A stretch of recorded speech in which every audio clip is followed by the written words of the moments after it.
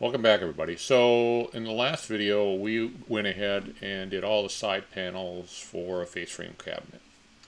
Um, those are all set and now we need to do all the intermediate so all everything that goes in between those side panels. And we've got three different things on a lower unit that we need to build. We need to do the, the bottom, we need to do this uh, bottom and stretchers and those are going to be the same um, and then we're going to do nailers and we're going to do a shelf or shelves, depending on how many shelves. Generally, on the lower cabinet, we do it one shelf. Um, so, trying to figure out those calculations, um, you can do it by hand, um, is one way. Um, but I'll show you what I've done. Makes it a little bit easier for me and uh, a little bit quicker and kind of takes a little bit of human error out of it and lets the error be created by the machine. So what we've got is I created a small spreadsheet um, on Excel. And these are four face frame cabinets. And I've got my bottom shelves and stretchers are one, my nailers are another, and my shelf panel is another. So what I've done is I've got a line that's the cabinet sides. And if I go ahead and if I want to change this from a 24 inch cabinet to an 18 inch cabinet, I've got it set up so it will change all the dimensions across this whole sheet. And um, then I'll go, now I'll go through the calculation. So we've got, we're going to do 24 because I just want, that's what I want to stick with. That's what we've been talking about. So on the bottom panels, or bottom shelf in the stretchers, which are all the same because they're all dadoed in, we're going to do a 24 inch cabinet. We're to need to, on most times on a face frame cabinet, you're going to do an eight, a quarter inch inset so your face frame overhangs the panel by about a quarter inch on either side for scribing and fitting and stuff like that. You can change that dimension if you want, um, but quarter is a, a, good number to work with. Um, so if we do a quarter per side, now we're down to that's subtracting a half an inch off the 24. And then the same thing with the dados is we're going to have 3 eighths of an inch or 0.375 per side that we're going to subtract off. Um, that gets us to our 3 quarters of an inch. So if we take those two dimensions and subtract those out, that gives me a panel height of um, two, 22 and 3 quarters of an inch. Um, and then I know on that one, my panel width is going to be the depth of the cabinet um, so front to back. That's going to be the same as our size, which were 23 and a quarter inches. You add three quarters of an inch for your face frame, gets your 24 inch cabinets. So that's what size those panels are going to be for bottom and stretchers. Bottom shelf and stretchers are going to be, this is going to be the dimensions we want. So then we go up to the nailers. Again, we start with that 24. We subtract the scribe, half an inch, and then I'm going to subtract panels. Now I know my panels are um, about uh, a little under three quarters, so they're 0.71 inches. So I'll subtract that twice, and that gets me down to a little under inch and a half. Um, 1.402, excuse me, 1.420 is going to be that. Um, so when I subtract that out, now it gets me down to this 22.08. Uh, is for our nailer. So that's going to fit in between the panels.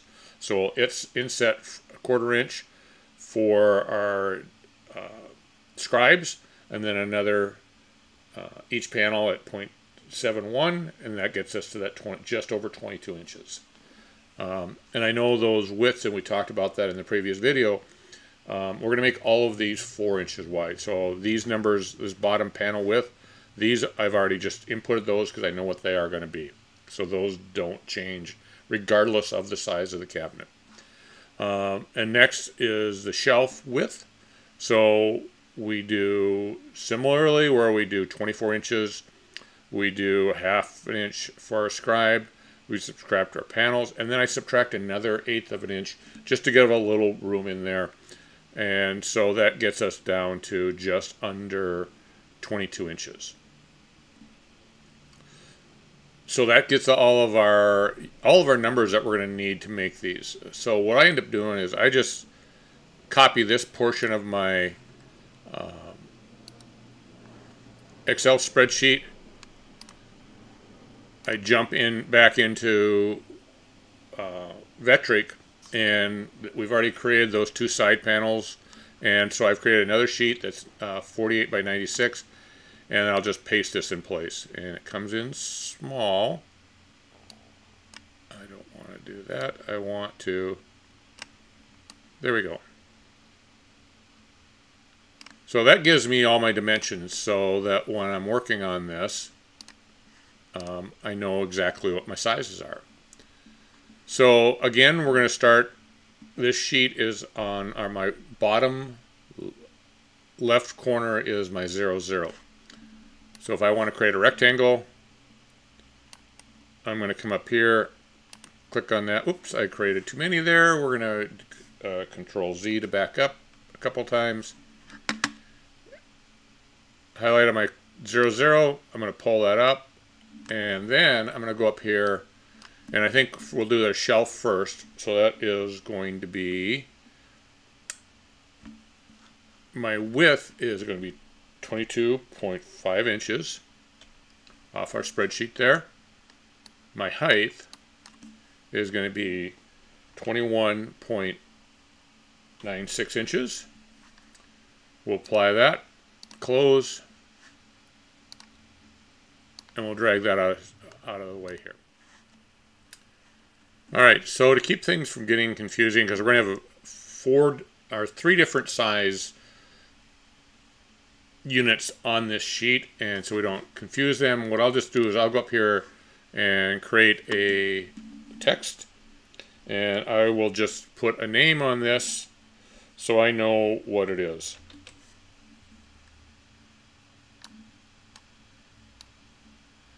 So that's my shelf.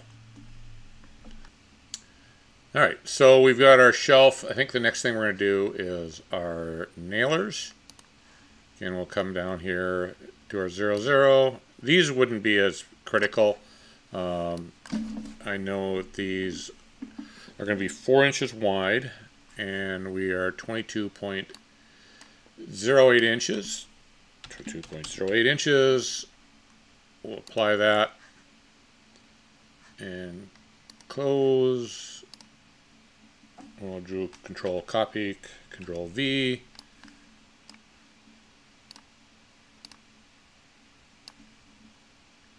put these up there and then we'll go ahead and get our text in here.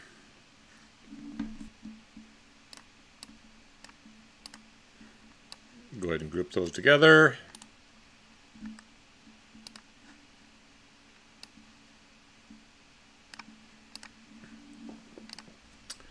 All right, so now we need to do our stretchers, and those are going to be come up off at 0, 0. Those are going to be 4 inches wide and 22 and 3 quarters of an inch in height.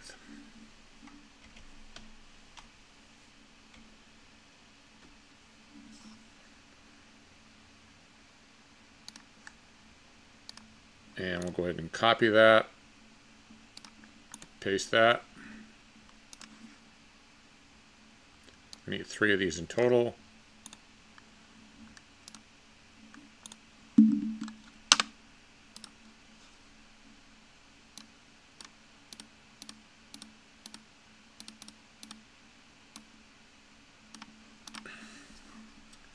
So we're going to zoom in on this last one because on one of them on the back and on the bottom shelf we need to do a dado. So let's go ahead and zoom in on this a little bit. So I want to create a guideline because that's why we work off this 0, 0. I'm going to crimp in here and I'm going to start one there and I'm going to do a relative guide to this 3 quarters of an inch. And I click too fast. Create new guide. Oop. Relative position. Create new guide. There we go. So I probably have a couple different guides underneath here because I'm cl clicking around too quickly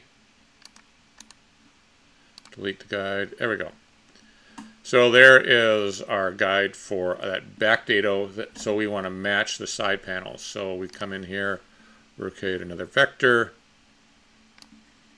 and we're going to come in and just get roughly in. So we want that to be 0.25 inches. And we want to be a little bit over this, so let's go 23 and a quarter. And we can close that. And we'll go ahead and bring that down just a little bit so we're overlap. All right.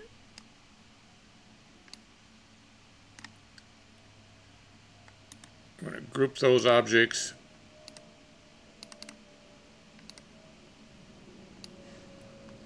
Move that up out of the way for right now, and then we need to do our last panel. And just to verify our panel.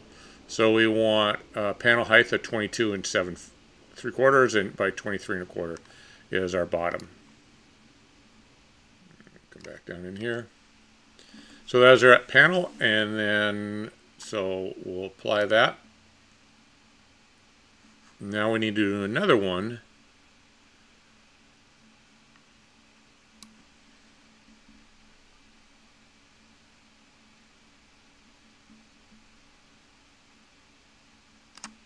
This another quarter. This is another dado for our back.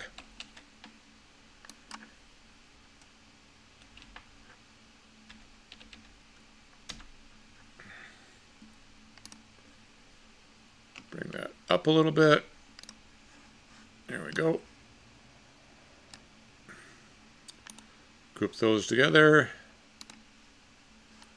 We're going to get rid of our guidelines. We can do that again. And let's see, I want to move this up a little bit.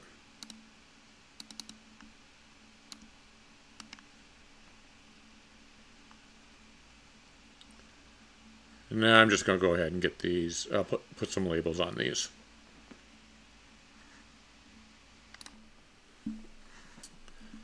All right, so I went ahead and got everything labeled now. So I've got our bottom, our cabinet bottom. We've got our three stretchers. We've got our two nailers and our shelf. And I just put it in the label. So for right now, what I would do is I would go ahead and create a sheet for like an 18 inch cabinet, for a 20 inch cabinet, for a 36 inch cabinet, and go ahead and create all of these um, as I'm starting to build up this. So um, I want to do one more thing before I do this, is I want to go into my layers. And I've already gone and created some of my layers. So what I'll do is I'm going to go and I'm going to move these to various layers. So like I'm going to move this to my base cabin bottom. I'm going to move this to my layer uh, stretchers. I'm going to move this to my nailers.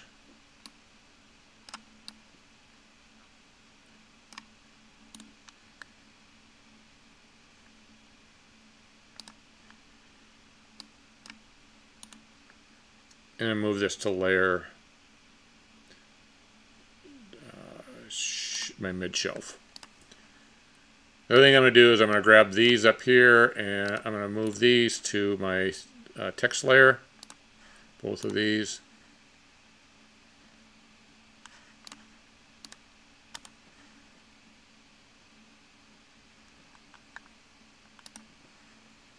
So if I'm not working on this, I could go ahead and like I delete or un,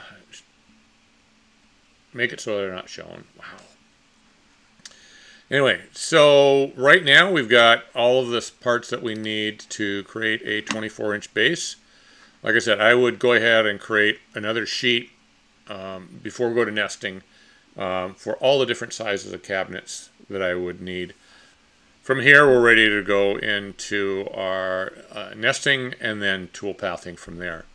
So I think at this, this point, I think this is a good place to wrap this one up. Um, we still need to, we've got all of the parts we need for a 24 inch cabinet. If we want different size cabinets, we just create a new sheet. And then when we go to do our nesting and our tool pathing, we've got all the information in uh, that we need for every single part. So. All right, so we've got our sides and all of our intermediates set up for the cabinets. And uh, now I think that what we're going to do before we go into any nesting or toolpathing, we're going to go ahead and do an upper cabinet. Now we're going to use a lot of the same stuff on an upper cabinet. They'll be a little bit simpler in some ways, so um, that'll be the next video. And uh, if you like this stuff, let me know. If there's stuff you want me to get more in depth in, that's great. Um, I know this is these are getting long videos, and um, they're meant to kind of help somebody along that might want to be doing this, and less about entertainment. And uh, yeah. Anyway, thanks for watching. I, do really appreciate it, and uh, yeah, we'll see you next time.